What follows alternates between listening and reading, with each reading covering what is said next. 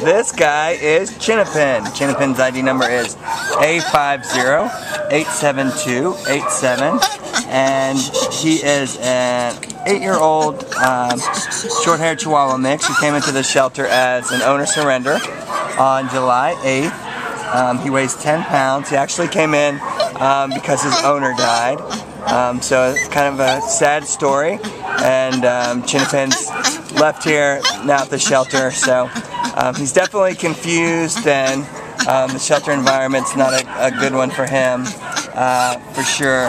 Um, he's a senior guy and um, he really loves affection. So um, we think that maybe uh, he has some possible hearing and vision problems.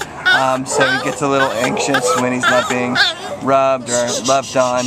Um, you know, he is definitely a dog that needs some senior attention.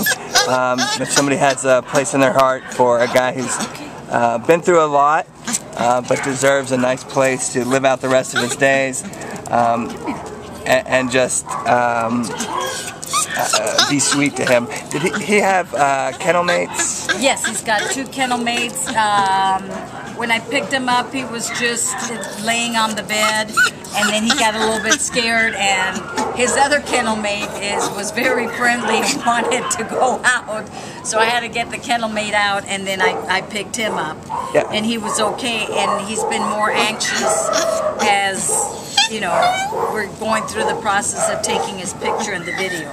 Yeah, so he does well in the company of other dogs. Uh, he does well once he feels safe and secure, but again, this is an environment that's uh, foreign to him, and uh, he's really been through a lot. So definitely deserves another chance, and he deserves a home where he can live out the rest of his days and, and be loved. So uh, we would love for you to come meet Chinapin. His ID number is 850 87287 and see he's calming down a little bit now so um, he's just a sweet boy. He deserves a shot